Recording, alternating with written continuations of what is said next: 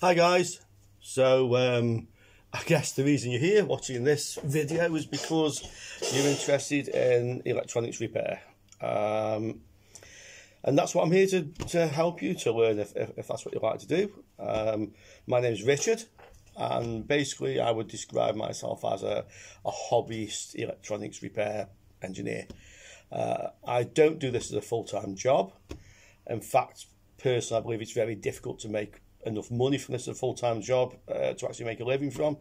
Uh, so um, I have another business, uh, which is you can see the other part of the office here, and that business is really uh, earning my bread and butter. So this is something I do when I have a bit of spare time. Uh, something I enjoy doing. I get a lot of satisfaction from uh, repair work, and most of the repair work I do is actually based on the principle of buy to repair to sell. And if you're a beginner at this, or maybe have a little bit of experience before, I would recommend that that is a very, very good way to learn electronics repair. The beauty of doing it this way is that you're not under any pressure. Uh, you can fix things in, in your spare time. Maybe you're working in the day, you just have some time at the weekend. Maybe this is just an extra skill you want to learn. Um, so there's no pressure on the time scale to get something repaired for a certain date. You don't have customers hassling you. Is it ready yet? Is it are we there yet? Um, also, when you completely screw it up, which is going to happen sometimes, and, and the the thing you're trying to fix actually ends up worse than it was when you started. That's okay because this this is something you bought yourself. You're hoping to fix it and sell it. If you mess it up, well, you haven't totally lost everything as long as you're getting the stuff cheap enough, what you now have is a donor board you can use. Maybe you'll find something else of the same type you can repair, or you can just strip uh, components from it and use those, put them into your stock, and then later on, you have some spare parts for something else when you need them. So that's basically how I would, would suggest we, we go about this, and that's really how I want to teach people. Um, okay, this is nothing new. There's guys uh, and girls on uh, YouTube and on the internet uh, who do a very similar thing, so I'm doing nothing new here. But what I would like to do, and the reason I want to do this, I've wanted to do it for a long time, is uh, because I want to try and teach electronics from the point of view of repair. Uh, you don't need to learn a lot of theory. Yes, we need to understand some things about how components are working and, and what they are. But the way I learned this, um, basically, just to uh, spend a minute just telling you this, I started uh, with electronics in the 70s. Uh, you know, my father had bought me a little book how to build a transistor radio, and that got me interested. I never built the transistor radio. I mean, we had no money in them days. We couldn't even afford the bits. But for reading one book, I was down the library getting more books and just got interested and gradually started uh, scrounged a soldering iron from somewhere from an uncle and started uh, to burn stuff when I'm trying to solder it. But you know, you learn and, and so on.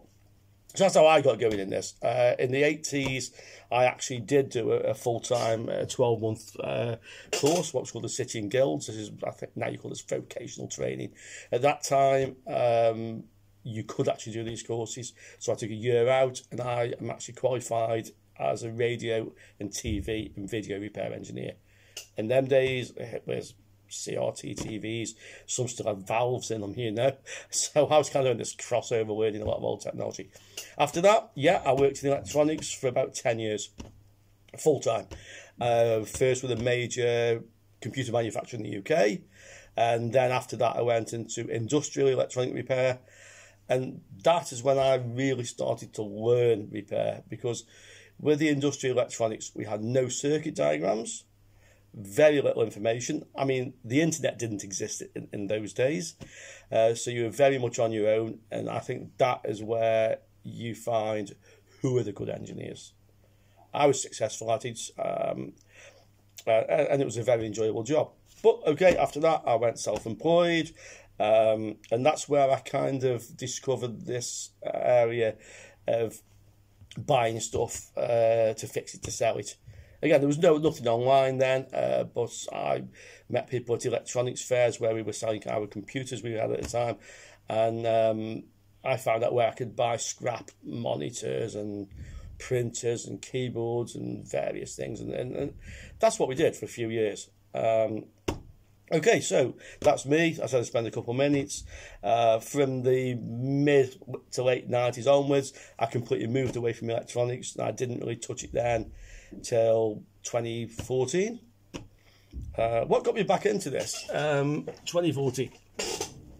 I was had a very successful business that was paying all the bills, didn't require a lot of attention. It was mainly subscription based, and I was getting bored. I wanted something to do, so I went back to something I did in my teens. I went back to running mobile discos, um, and I did that for a couple of years. But from the mobile discos, and obviously now we have the internet, and I'm on internet DJ forums, and I, I kind of discovered that a lot of DJs were having faulty equipment. You know, things were breaking, uh, they were going wrong, and they couldn't really find anybody to fix it. So I started offering to repair, and then people would post me things I'd fix, so I'd go back on the forum, uh, I'd put some information on there, advising, helping people, and I thought, hmm I remember back in the day, I used to buy stuff and fix it and sell it. So I started looking on the internet and I started buying uh, disco lighting, mixers, amplified speakers, these sort of things. Uh, and I started to fix them. And, and some some of them uh, I was using on my own mobile disco. I was also renting a bit of equipment, so some I used for rental. And in, uh, I mean, I was probably spending, you know, an hour one day, maybe a couple of hours, sometimes a bit at the weekend, uh, in a little room upstairs at the house. And uh, after about a year, I totted up and I'd made, just by buying lighting and fixing and selling the stuff I didn't want for myself, which I kept quite a bit, I'd made about £6,000, £7,000, something like that over the year. I thought, hey, you know, actually, this is this is quite decent it's it's a nice hobby, and it makes you a bit of money. So forward on to now. I'm no longer in the UK. Um, I left in 2016. Uh, started again with a business. Uh, I'm actually in the Canary Islands, and that's you know building a new business took time. I wasn't really doing much repair, but I started again. I'm working with bars and restaurants, hotels, uh, doing installation with satellites and, and such, and uh, I went back and I started again, um, offering a few repairs because there seemed to be nobody around here that was doing that sort of work. And um, from that, you know, I end up, uh, I've got a reasonable business now. It's very quiet at the moment. We have this stupid pandemic going on, uh, and I have time on my hands. Uh, so I, I, went back into uh, buying to fix. Now, I'm not doing the mobile disco stuff now. Firstly, it's too heavy. Secondly, there's no mobile discos operating anyway. So I started to repair uh, computer motherboards. I was going to have a second-hand market here. Uh, and this is how I got. I go into the second-hand market, the car boot sale. Yeah, you, probably have something like that where you live. And I'm looking around and I'm buying, I'm just buying stuff, any old computers I can find um, graphics cards. I'm, I'm, just buying them for a few euros. Um, and looking, I thought, I'll see if I can fix this stuff. And I, and I started to fix it. And uh, I then discovered, uh, really, that vintage computer stuff is really, some of it fetches really high money these days, far more than it did when actually new. And I realised there was a market for that. So that's what I do now. I go to the car boot sales on a Monday. Sometimes I, I, buy stuff off eBay, uh, especially if I'm over in the UK and I can just bring it back with me. It's easier to get from there. Uh, I take on some repairs. I fix a few laptops, um, amplifiers, basically anything. Uh, there's a radio station just across from me. I've, I've repaired a couple of his transmitters, which I've never even looked at one before. But hey, you know, it's electronics. Um, the strangest things I fixed were. Um, a kiln for firing pottery from a guy who makes hobby pottery to sell on the markets, and uh, a laminator uh, for a guy who uh, prints uh, lists of football matches and he puts them in, in, the bars so they can see see what football they have on that week. Uh, so that, that's a couple of the stranger things I, have looked at. Um, but mostly that's just odds and ends. So this repair work I do is a hobby really, and it's it is this buy, sell, sorry, buy, repair, sell. So this is what I suggest you do. This is where I'm going to go with this, and this is what I do, and this is what I would like to show you guys, girls, and maybe you can see this is a hobby. This is something you can do in your spare time. You don't need a lot of equipment. I mean, I'm going to start from the beginning. I'm going to do just two two lines.